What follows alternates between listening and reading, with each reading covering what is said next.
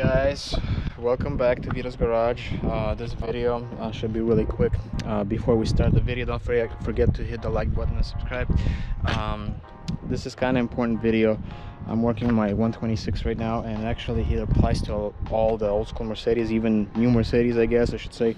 Uh, so you gotta check these uh,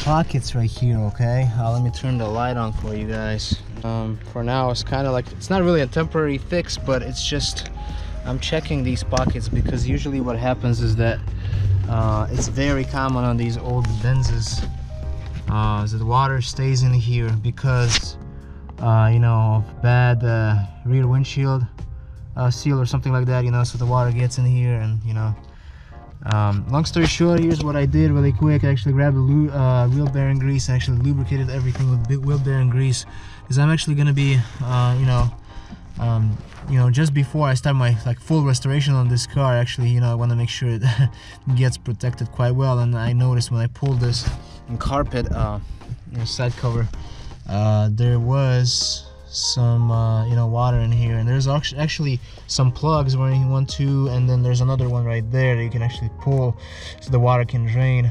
Um, but as of right now as you can see like everywhere here here on the sides I put a lot of wheel bearing grease just regular wheel bearing grease. That will keep it from rusting. And I'm gonna do actually the same thing on both sides. So you guys have these old school Benzes make sure you double check yours. Uh, do the same thing.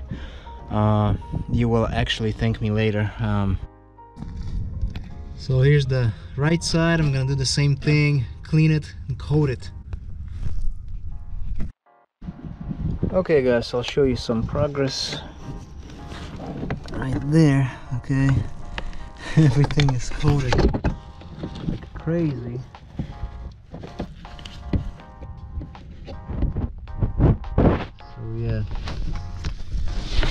thing will not rust right now. And then I also did a bunch of here all these areas. It's temporary kind of protection so. Okay so you can see all of this stuff that's wheel bearing grease and that's actually um some of it is oil used engine oil. Okay look at all this see that stuff? That's all used engine oil and wheel bearing grease. Amazing. Um, looks really good.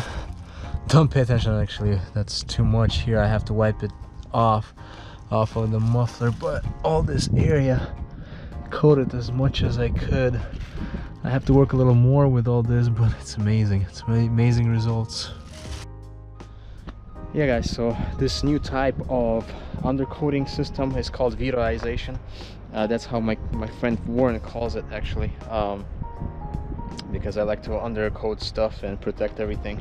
So that's what I did right now to this car and uh, it was pretty simple. I mean you just grab a wheel bearing grease and you grab some used oil and you're gonna need a brush and then that's it. I mean you just start going underneath everywhere and same thing over here. You check these pockets and you know you coat everything right there and I'm ready to actually put this whole thing back. I gotta clean some of this trunk stuff um, other than that it's all good it's all protected I'm pretty happy about that. If you have uh, any old school Benzes or you know any other cars you know pull the trunk liners you know inspect everything you know coat everything protect everything. It's gonna last for years years and years